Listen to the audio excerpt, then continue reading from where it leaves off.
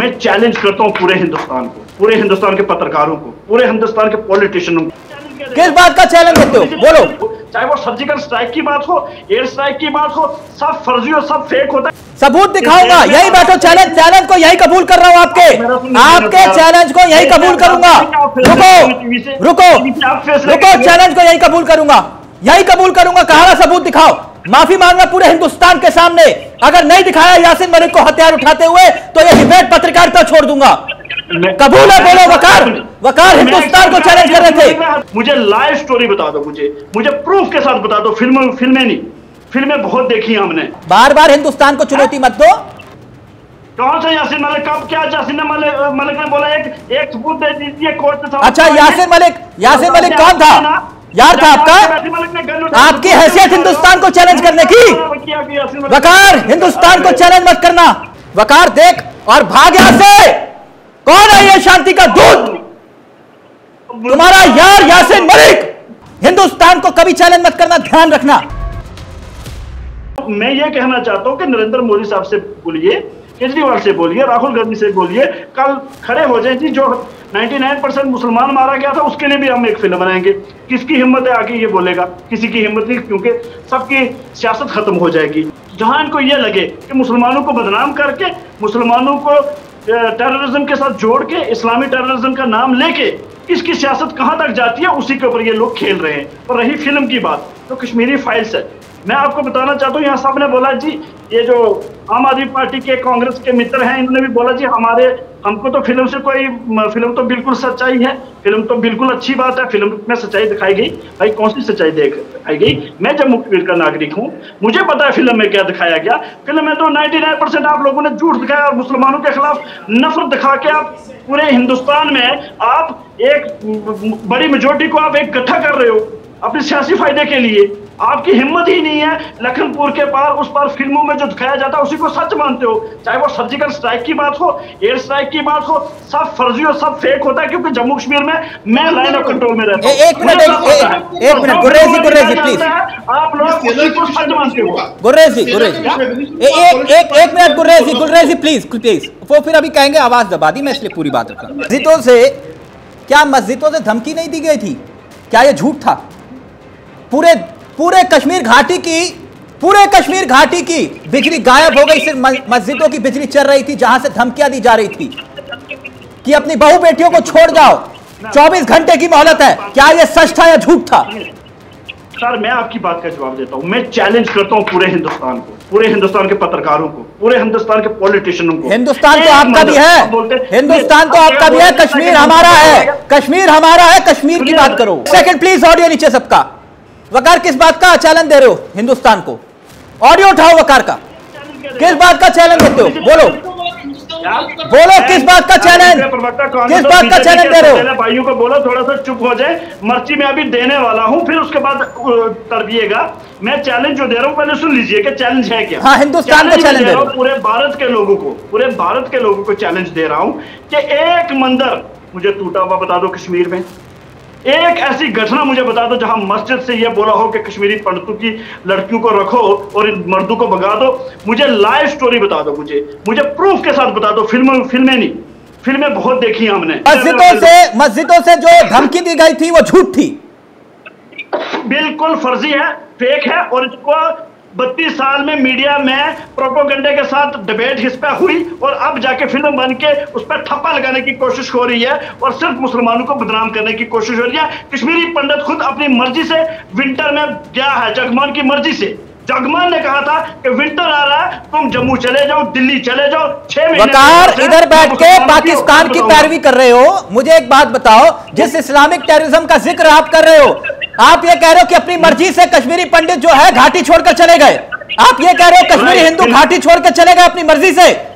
आप ये कह रहे हो? बिल्कुल मेरी बात आप सुनिए ना सुनिए। विस्थापन का मतलब समझते हो? सुनिए sir sir sir sir please please तीस सेकेंड सर सुनिए कल मैं आपको एक बात कहूँगा कल ऊपर वाला ना करे चाइना या कोई देश आके भारत के ऊपर हमला कर देंगे तो क्या आप भारत छोड़ के अमेरिका भाग जाओगे? क्या कौन भागा? अपनी मिट्टी कौन भागा?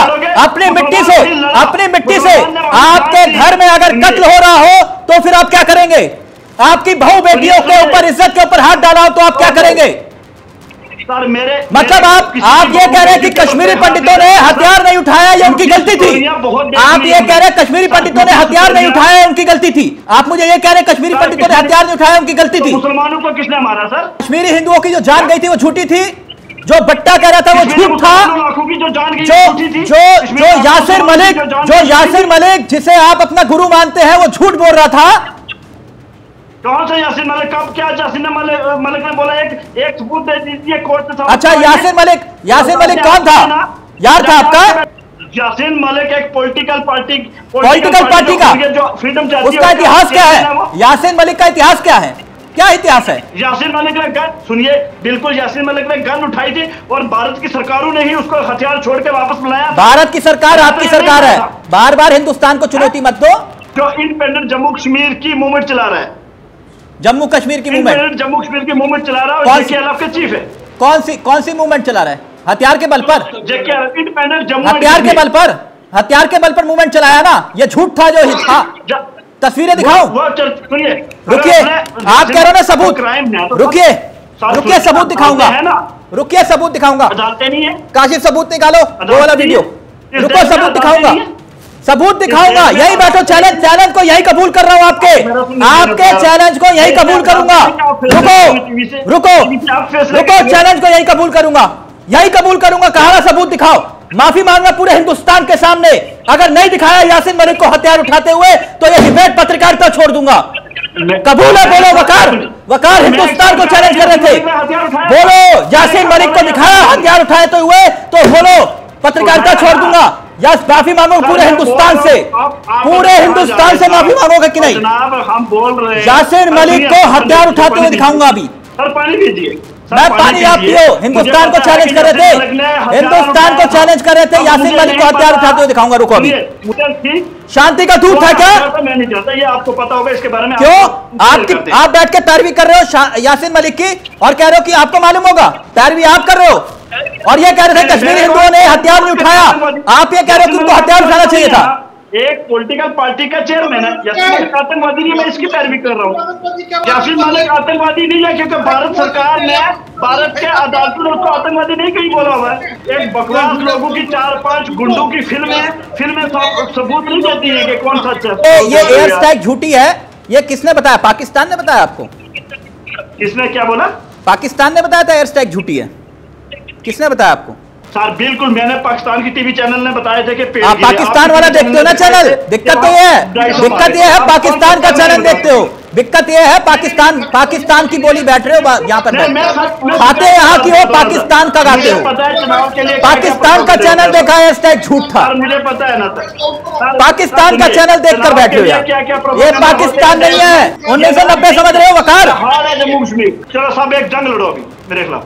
जंग लड़ोगे? यहाँ? बोल नहीं बोलती अच्छा गोली वाली। मेरे को लगा गोली वाली लड़ोगे। गोली यहाँ पे भी गोली चलाओगे। तो एक घर में जाओ चाय पियो दूध पियो खाना खा के सो जाओ। हम चार एंकर समेत तीन चार लोग मुझे कुछ नहीं कर सकते हो हाँ। सब कुछ झूठ है ना? सब कुछ झूठ है। है ना? हाँ? वो कश्मीरी हिंदुओं का नरसंहार वो भी झूठ। जिन्हें मारा गया वो भी झूठ। एयर स्ट्राइक भी झूठ। एयर स्ट्राइक भी झूठ 370 भी झूठ। फिर मैं मानूँगा सच है वो यासिन मलिक का शांति का दूध बनना भी झूठ है ना? कश्मीरी पंडित मरे हैं। ये सारा झूठ है। कश्मीरी पंडित मरे हैं ना? हाँ क, क, जो मस्जिदों से बोला गया वो भी झूठ। मस्जिदों से जो बोला गया वो भी झूठ, है ना? दिखाऊँ ये ये देख वकार देख और भाग यहाँ से। कौन है ये शांति का दूत? तुम्हारा यार यासिन मलिक। अरे फट्टू हम लोगों भागने ये फ़ोटो ये देख वकार पाकिस्तानी देख देख वकार। अभी बोल रहा था ना मुझे? ये कौन है? बोला सबूत दिखाओ। ये सबूत नहीं है क्या है? ये कौन है? कौन है ये? ये ये कौन है? ता, कौन था ये? कौन था ये? मैं बताऊँ अब साइड चुप कर तीस सेकंड चुप रहना सभी। मैं बताऊँगा कौन था ये। तीस सेकंड ये आपने ठीक कहा यासीन मलिक था। उसने हथियार उठाया था। और उसके बाद भारत की सरकारों ने ही उसको बोला था कि हथियार छोड़ो और टेबल पे आओ। अभी तो बोले कि वो शांति का दूत था कबूतर उड़ा रहा था। मुझे कह रहे थे एक सबूत दिखाओ। मुझे कह रहे थे एक सबूत दिखाओ। हिंदुस्तान को चैलेंज कर रहा हूँ। आपकी हैसियत हिंदुस्तान को चैलेंज करने की। वकार हिंदुस्तान को चैलेंज मत करना। हिंदुस्तान को कभी चैलेंज मत करना ध्यान रखना। अभी बोला ना एक सबूत दिखाओ। ये सबूत देखो। ये देखो अपने यार की तस्वीर देखो। ये सबूत देखो। चैलेंज मत करना आज के बाद। अब इसको हटाओ। मत बोलना कि सबूत दिखाओ। चलो थैंक यू जाओ पाकिस्तान।